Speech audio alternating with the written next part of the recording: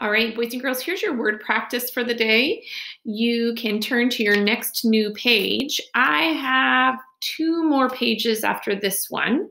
Remember to start by writing your name nicely at the top of your book. Make sure that you're forming your letters correctly. Remember, your name should be the most beautiful word that you ever write because you write it all the time using your hat, your belt, and your shoe line. We're going to start with our first Theo, and we have four sounds today. Your first sound is D as in dog. Say the sound. I want you to write D as in dog, small letter. Remember, our small letter D starts with our magic C at Theo's belt. Magic C go up like a helicopter and down. All right, your next sound is as in fish. As in fish. Say the sound. Now I want you to write small letter as in fish. Remember, small letter F starts just below Theo's hat line, about at his nose, over, down, frog jump, cross at the belt. Your new sound is woo as in worm. Woo as in worm. Say the sound. I want you to write woo as in worm, small letter. Make sure you put a finger space. Down, over, up down, over, up. Small letter W. Finger space. Last sound is S as in soup. Say the sound.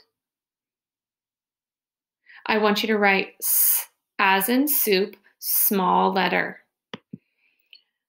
For S as in soup, small letter, you need to make sure that you are between the belt and the shoe line. So make sure that you fit in between these two lines right here. So we shouldn't have our S down here or up there. Next, we're going to go on to our words. So, second Theo, your first word is with. I went with my sister to the store. With. Write the word with. W I T H. W I T H. Next word, finger space. Your word is can. She can read her book. Can. Write the word can. Can. C A N. C A N. Finger space. Next word, new word, he. He is my friend. He.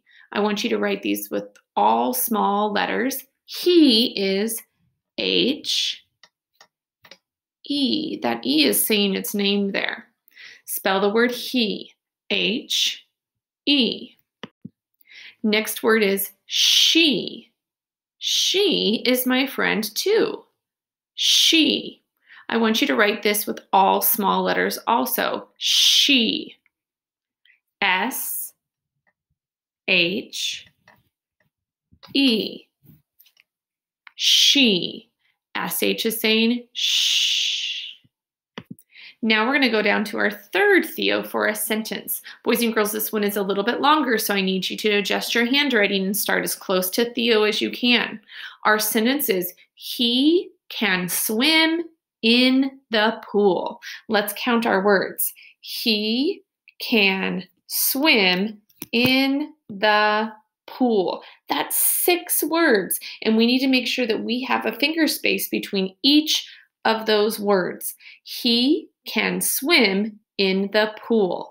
I want you to write that sentence. Remember, capital at the beginning, finger spaces between our words, and punctuation at the end. You will have to best guess spell for swim and pool. The rest of the words you should be able to do. He can swim in the pool. Here's our sentence He can swim in the pool. Your pool might look different than mine if you're using best guess spelling. You might have seen it somewhere before and known how to spell it. And families that are helping you with your sentence, remember not all of our words are going to be spelled correctly, and that is okay. Make sure that you're using best guess spelling roboting the sounds of the words and just doing your best.